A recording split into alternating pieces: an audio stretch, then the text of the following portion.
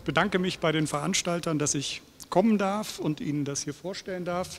Ähm, wir haben im Vorfeld auch geredet, dass das ja vielleicht ein unpassendes Vortragsthema sein könnte an einem Ort, der heute dem Opfergedenken vor allen Dingen dienen sollte, über einen äh, Täter oder jemand aus dem Täterkollektiv zu sprechen. Wir haben uns aber geeinigt, dass das vielleicht doch passen kann, weil hier natürlich auch Täter erforscht werden. Und ähm, mir scheint, es gibt doch Anknüpfungspunkte auch zwischen dem, was wir heute schon gehört haben und dem, was nun folgen wird. Ähm, es geht ja immer wieder um Narrative, die wir finden, um mit dieser Vergangenheit irgendwie zurechtzukommen.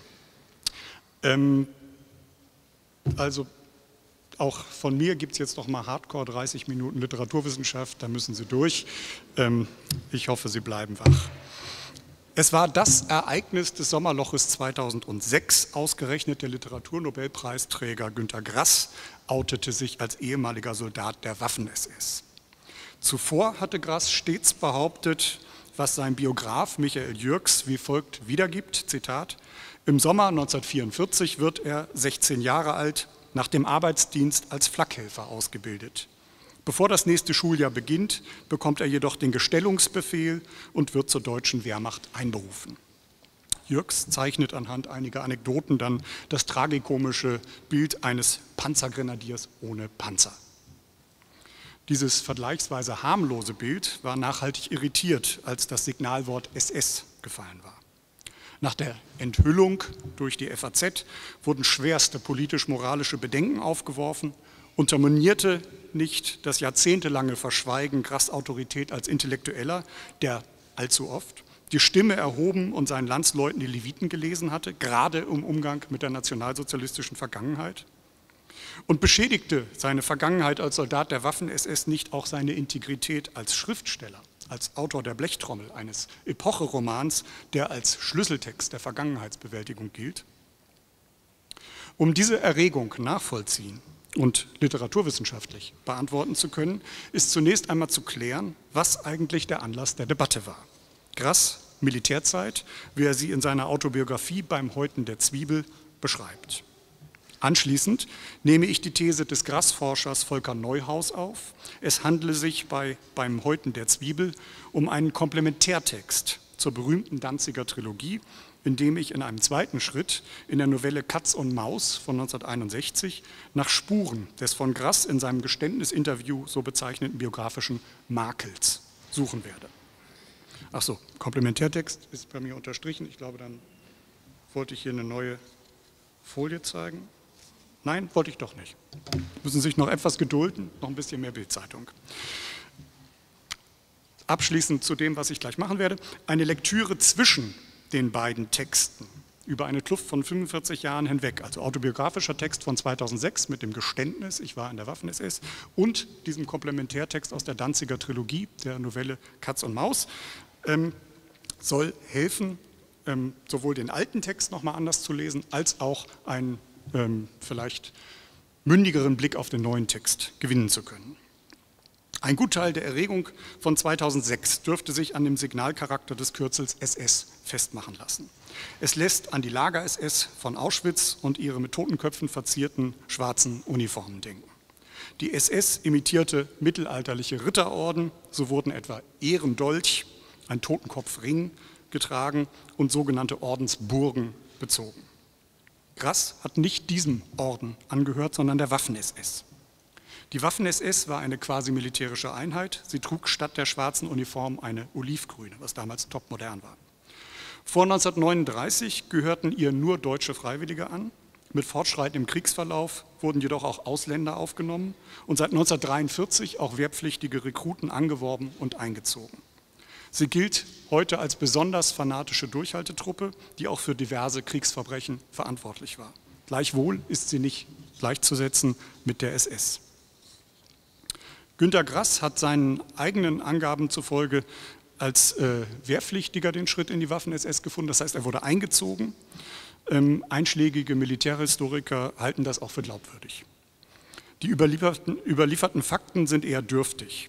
In einem amerikanischen Formular vom 3. Januar 46 sind die Kenndaten des Kriegsgefangenen protokolliert. Muss ich jetzt auf den grünen Knopf drücken oder passiert aber nichts.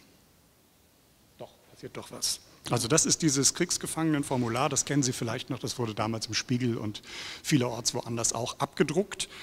Ähm, also die Kenndaten des Kriegsgefangenen Günter Grass sind hier eingetragen, geboren am 16.10.27, Zivilberuf Schüler, zuletzt Ladeschütze in einer SS-Panzerdivision. Eintritt in die Waffen-SS am 10. November 1944, also nicht einmal vier Wochen nach dem 17. Geburtstag. Wie geht nun der fast 80-jährige Autobiograf damit um, dieser Einheit angehört zu haben? Zunächst einmal ziemlich diskret. Grass versteckt sich in dem Zwiebelbuch in der dritten Person. Ob heute oder vor Jahren, lockend bleibt die Versuchung, sich in dritter Person zu verkappen als er annähernd zwölf zählte, doch immer noch liebend gern auf Mutters Schoß saß, begann und endete etwas. Ausbruch des Krieges und Ende der Kindheit fallen zusammen. Ein weiteres Zitat, ähm, in dem der Autor rechtfertigt, warum er nun über sich selbst schreiben muss. Weil dies und auch das nachgetragen werden muss. Weil vorlaut auffallen könnte, äh, dass etwas fehlt. Weil wer wann in den Brunnen gefallen ist, meine erst danach überdeckelten Löcher mein nicht zu bremsendes Wachstum. Die verborgene Schuld, auf die hier hingewiesen wird, ist das Leitmotiv im ersten Drittel des Buches. Hier jedoch noch überaus verklausuliert. Die Anspielung auf die Redensart, das Kind sei bereits in den Brunnen gefallen, verweist sowohl darauf, dass das Nachzutragen in Gras Kindheit geschehen sei, als auch, dass diese Mitteilung zu spät gemacht wird. Das eigene, nicht zu bremsende Wachstum erschließt sich dem Leser der Blechtrommel natürlich als Gegenpol zum verweigerten Wachstum der Figur Oskar Mazerat, die aus Opposition zur Erwachsenenwelt, die sie von Beginn an durchschaut, nicht wächst. Grass selbst hat also nicht opponiert, sondern mitgemacht. Noch ein Zitat. Was vor und nach dem Ende meiner Kindheit geschah, klopft mit Tatsachen an und verlief schlimmer als gewollt. Will mal so, mal so erzählt werden und verführt zu Lügengeschichten. Dieser Gestus des Gestehens und Verbergens durchzieht das gesamte Buch und mag erklären, warum so viele Rezensenten, denen das Buch bereits vor dem Geständnisinterview vorlag, den Hinweis auf die SS-Mitgliedschaft gar nicht wahrgenommen haben. Nur auf jener Seite, auf der Grass das Geheimnis lüftet, ist überhaupt von der Waffen-SS im Zusammenhang mit der eigenen Person die direkte Rede. Ansonsten finden sich stets Umschreibungen. Das doppelte S, die doppelte Rune am Uniformkragen, das Wort, der Doppelbuchstabe und so weiter. Dass es darum geht, wird schon zu Beginn und immer wieder angedeutet. Wortreich gemiedene Wörter und Schuld, sie bleibt, immerfort tickt sie und wird zum Schreibantrieb. Das Unabgegoltene in Literatur zu übersetzen. Noch ein Zitat, selten eindeutig, oft in Spiegelschrift oder sonst wie verrätselt. Auch schnörkelige Zeichen, als habe sich ein Geheimniskrämer von jung an verschlüsseln wollen. Beim Häuten der Zwiebel ist keine klassische Autobiografie, sondern Erinnerungsbuch im Modus der Autofiktion.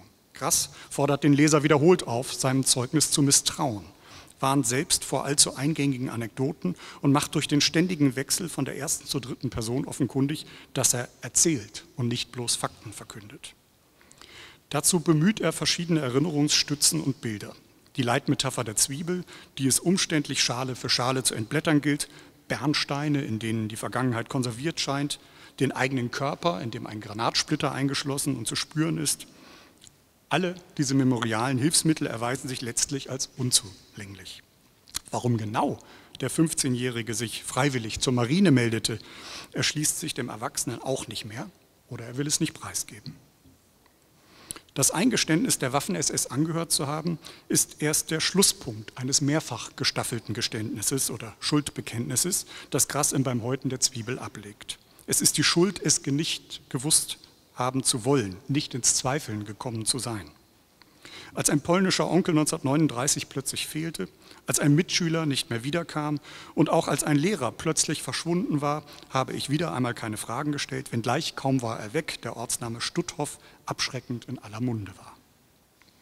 Im Umfeld dieses unkritischen Verhaltens vollzieht sich auch, was Grass in beim Häuten der Zwiebel als fatalen Schritt und meine Tat bezeichnet. Der 15-Jährige meldet sich freiwillig zur Waffe, er will zu den U-Booten oder wahlweise zu den Panzern. Das Zweifeln will er erst als Soldat gelernt haben, als seine Einheit blutig zusammengeschossen wird und ein vorgesetzter Ritterkreuzträger sich als Feigling erweist. Mein Glaubensgerüst gerät ins Wanken. Doch diese Erkenntnis kommt zu spät.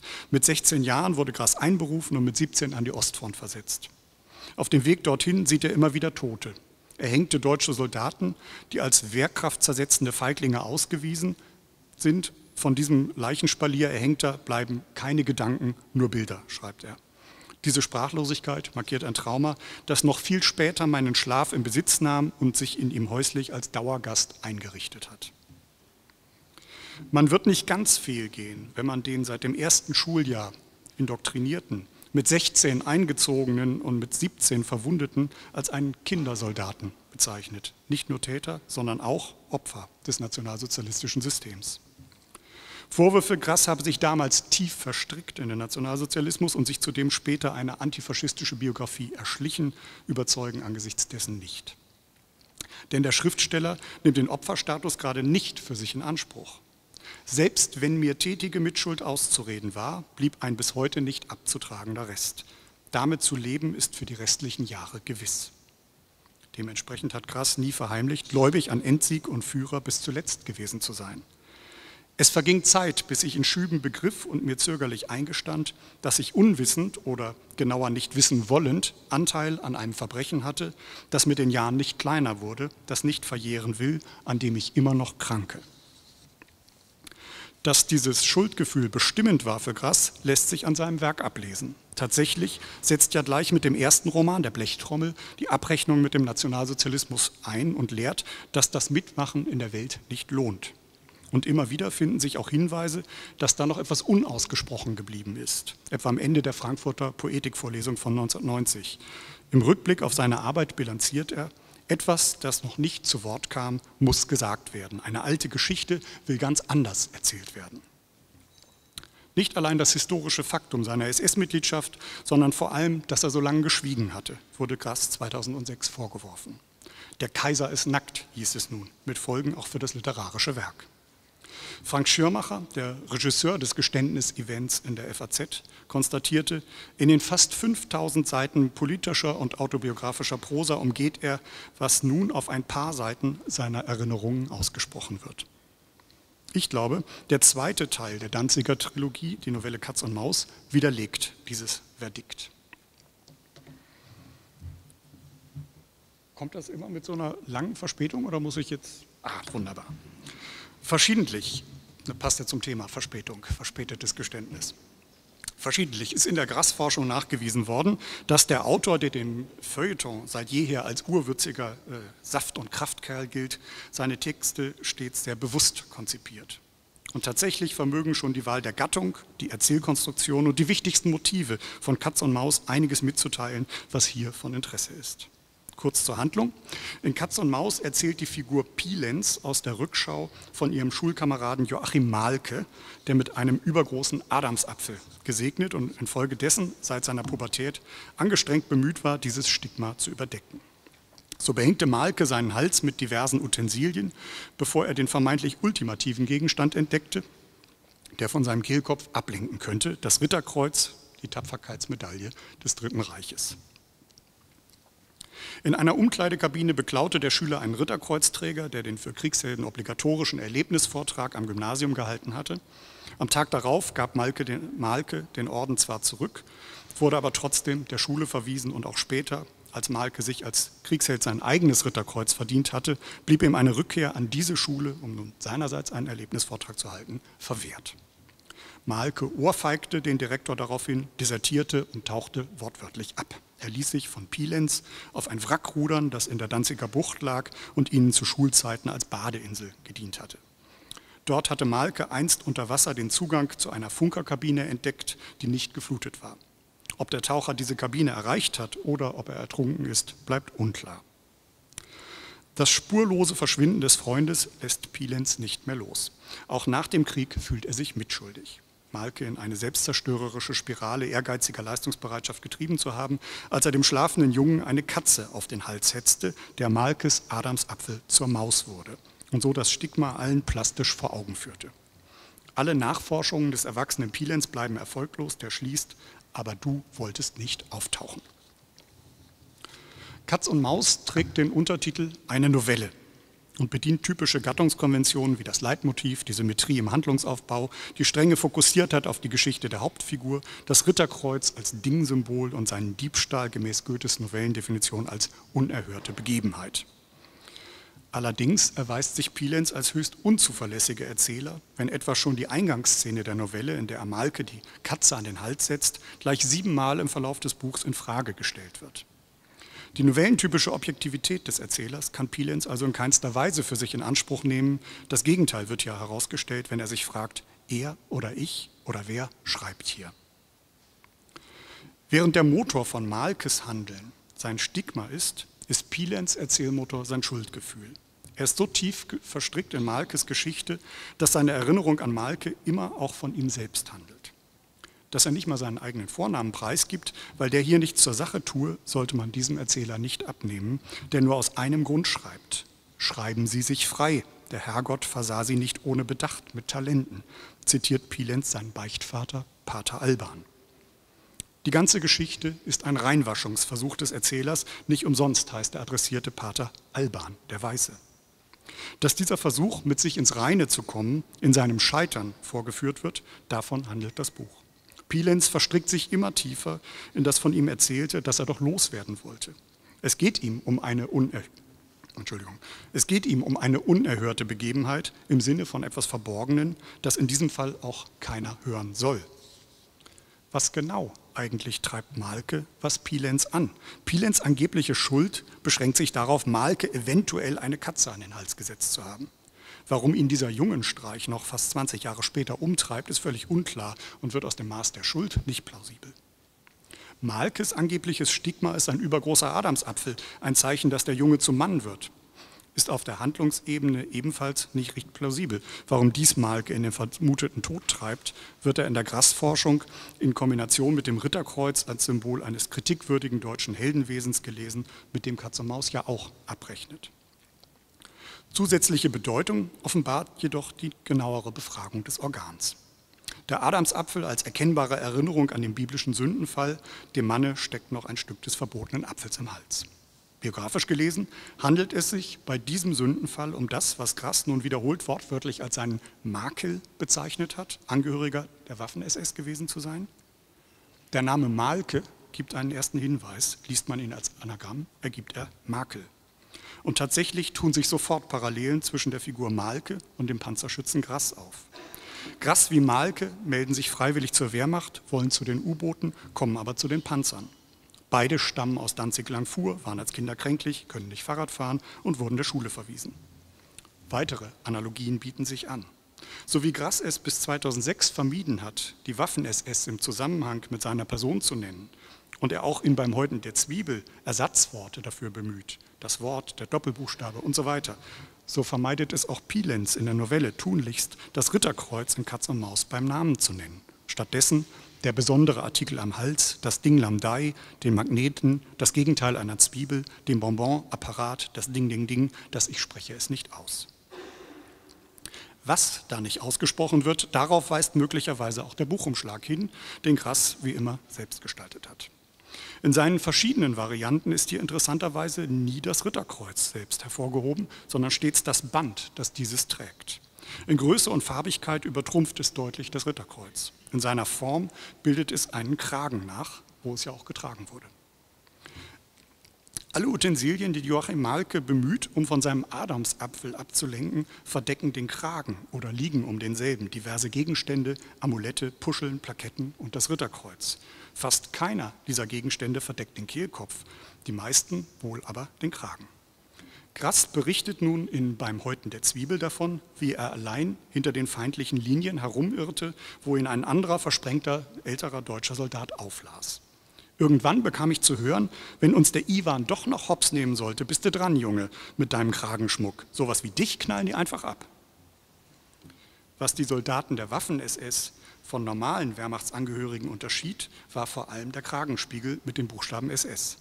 Selbst hochgradig stilisierte Bilder von Waffen-SS-Soldaten verzichten nie zumindest auf dieses Erkennungszeichen. Im Hinblick auf die Runen am Kragen befahl der ältere Soldat dem Rekruten Grass bei nächster Gelegenheit seine Uniformjacke gegen eine der Wehrmacht auszutauschen. Was hat aber die SS-Vergangenheit des Günter Grass mit dem Ritterkreuzwunsch Joachim Malkes und den Verschleierungsversuchen des Erzählers Pilenz zu tun? Zunächst werden beide Symbole als unaussprechlich markiert und an gleicher Position verortet. Das Ritterkreuz bietet sich besonders an, als kodierter Platzhalter für die SS zu fungieren, ist es doch ein Orden, ein Homonym, Teekesselchen würde man auf Neudeutsch sagen, das nicht nur auf eine Auszeichnung, sondern auch auf eine Gemeinschaft verweist, so wie sich die SS ebenfalls explizit als arischer Orden verstand. Zugleich wird jener mir unaussprechliche Orden in Katz und Maus von Pilenz auch als Gegenteil einer Zwiebel bezeichnet. Nicht nur in Beim Häuten der Zwiebel fungiert die Zwiebel als Erinnerungsmetapher, auch schon in Katz und Maus reibt Pilenz seine Schreibmaschine mit Zwiebelsaft ein, um der Erinnerung näher zu kommen und sie überhaupt aussprechen zu können. Das Gegenteil einer Zwiebel ist hier also das Nicht-Erinnerte, das durch seine dezidierte Benennung als vorhanden, aber unaussprechlich markiert wird. Entsprechend steht auch für die Figur Malke, steht auch die Figur Malke für beides. Er ist der, der Grass als Junge gerne gewesen wäre, nämlich ein ausgezeichneter Nazikriegsheld, und zugleich auch der, der Grass als Junge aus seiner Sicht nach 1945 gerne gewesen wäre, einer, der zweifelt, nicht mitmacht und opponiert. Der Kriegsheld Malke ist nicht nur der schnellste Schwimmer, der beste Sportler, der am inbrünstigsten Glaubende, der mit dem größten Geschlechtsteil, der erste Freiwillige, der in ein Wehrertüchtigungslager geht, der Entdecker eines Waffenlagers der Partisanen, der erfolgreichste Panzerschütze, Träger mehrerer Orden und jüngste Ritterkreuzträger, kurz der große Malke, wie er genannt wird, sondern zugleich auch der couragierte Dieb, der mit dem Schulverweis, der Clown, derjenige, der aus dem Jungvolk fliegt und sich als einziger nicht freiwillig zur Luftwaffe meldet, der Befehlsverweigerer im Arbeitsdienst, der es wagt, mit der Frau seines Vorgesetzten zu schlafen, der den parteitreuen Schuldirektor ohrfeigt, der Deserteur. Kurz einer, der das Zweifeln gelernt hat.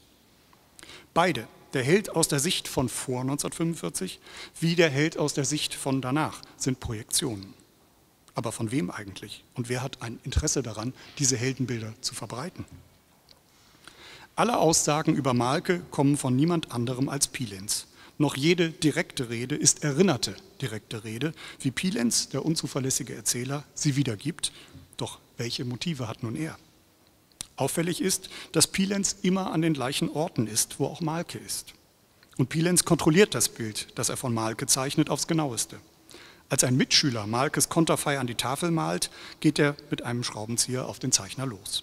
Malke duldet kein Bildnis von sich und es ist bezeichnenderweise Pilenz, der es in vorauseilendem Gehorsam von der Tafel abwischt.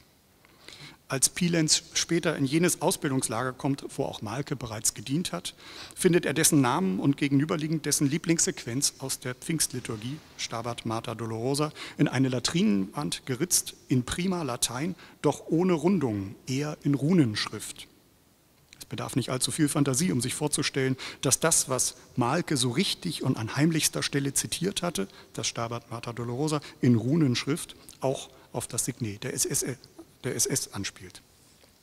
Bilenz greift zu drastischen Maßnahmen. Ich hackte Malkes Lieblingssequenz mit einem Beil aus dem Brett und tilgte auch deinen Namen. Pilenz tilgt Bilder, die andere als er selbst von Malke zeichnen.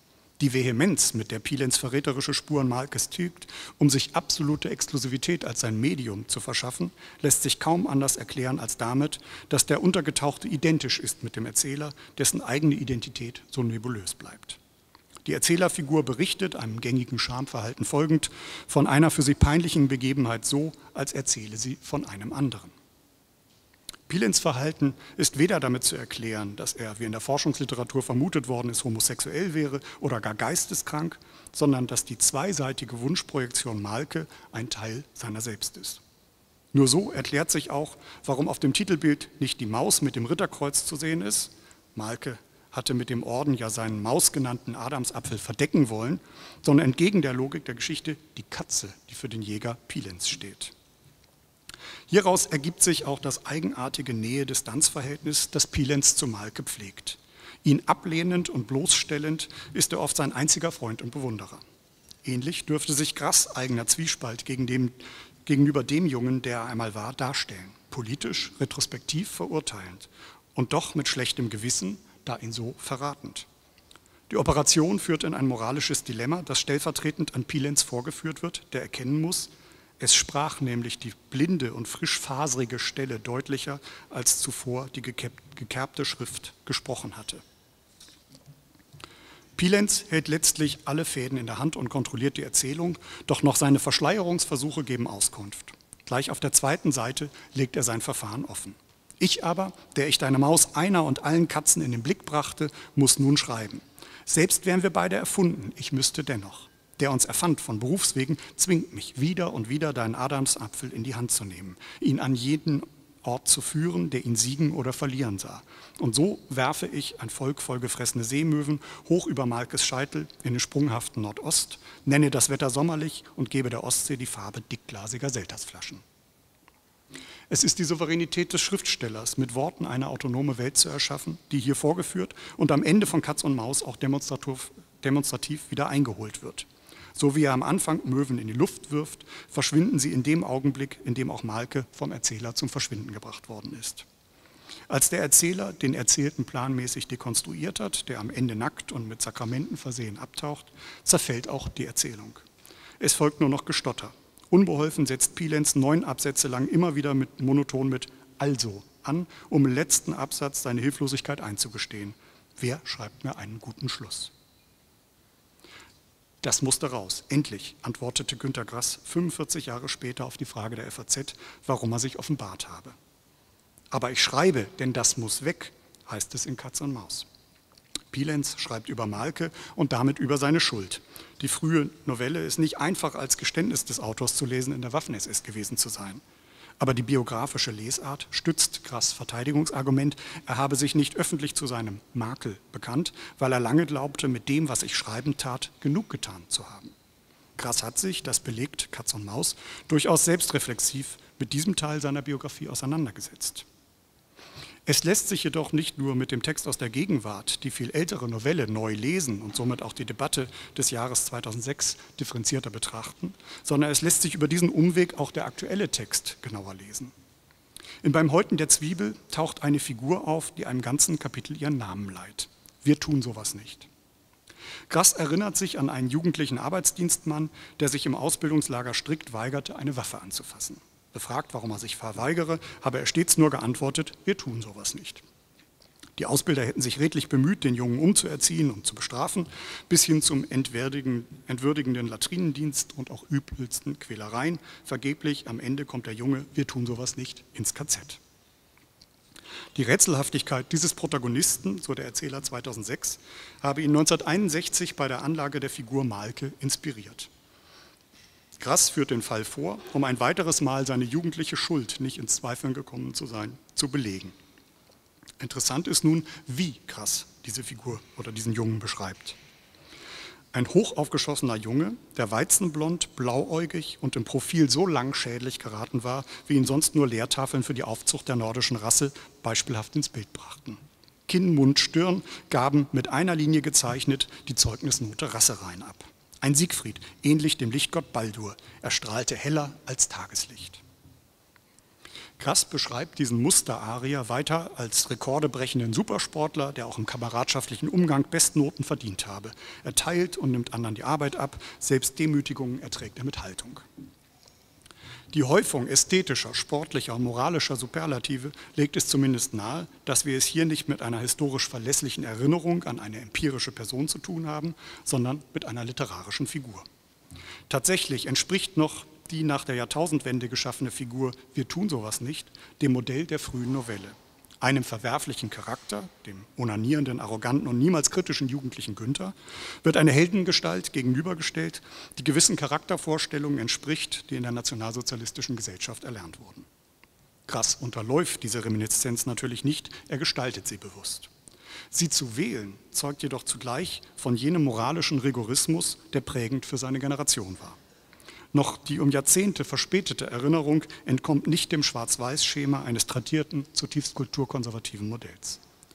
Zugleich untergräbt dieses Bild aber den Selbstbezichtigungsgestus des literarischen Geständnisses. Wer das Gegenbild zum eigenen Verhalten derart idealisiert, impliziert natürlich auch die praktische Unerreichbarkeit dieses Idealbildes. So rein heldenhaft wie der unbehutsame Malke oder der unbeugsame Arbeitsdienstmann konnte man ja gar nicht sein. Insofern zeugt die kaum variierte Form des Schuldeingeständnisses auch vom starken Bemühen des Autors, sich gegen etwaige Kritik zu immunisieren. Eine Demutsgeste, die sich nur dann als solche zu erkennen gibt, wenn der Autor den Schlüssel dazu zur Verfügung stellt, ist eben nur eine Geste. Der Verfasser eines Schuldeingeständnisses, der nur die Vorwürfe gelten lassen will, die er sich selbst bereits gemacht und die er für uns literarisch aufbereitet hat, legt weniger ein Zeugnis der Reue ab, als davon, dass er alle Fäden in der Hand zu halten gedenkt. Aber das Belasten, Einstufen und Abstempeln kann ich selber besorgen. Ich war ja ein Jungnazi, wie Grass in Beim Häuten der Zwiebel beschreibt. Insofern belegt auch noch der autobiografische Text des Jahres 2006 jenen Befund, den die kritischen Arbeiten zur Gruppe 47 der sogenannten Flakhelfer-Generation ausstellen, nämlich dass in ihrem Hinsehen stets schon das Wegsehen angelegt sei. In dieser Richtung liegt meines Erachtens, was 2006 hätte zur Diskussion stehen können, ob die neuerliche Inszenierung der Scham nicht vor allem von Eitelkeit zeugt. Von der Eitelkeit des Zeitzeugen, seine Deutungshoheit zu behaupten, durch den ultimativen Ausweis dabei gewesen zu sein, bis hin zur Eitelkeit des Literaten, es so elegant sagen und auch wieder nicht sagen zu können. Und letztlich auch von jener verletzten Eitelkeit, die die Schriftstellerin Petra Morsbach in einem brillanten Essay über die Blechtrommel herausgearbeitet hat, nämlich im Nationalsozialismus verführbar und also schwach und nicht stark gewesen zu sein. Biografisch ist diese Scham über das eigene, später als falsch erkannte Verhalten nachvollziehbar. Auf die Verbrechen des Nationalsozialismus bezieht sich solche Selbstbespiegelung erwünschter männlicher Stärke und eigener Schwäche jedoch nur sehr mittelbar. Hierüber, über den noch heute nachgetragenen Wunsch nach Heldentum, über die mehr als nur ironische Häme gegenüber allen defizitären Verhaltensweisen und über die Frage, was diese Moralvorstellungen der Härte eigentlich für die Scham und Reue gegenüber den Opfern des NS und das Gedenken an sie bedeuten. Hierüber hätte sich im Sommer 2006 trefflich debattieren lassen. Vielen Dank.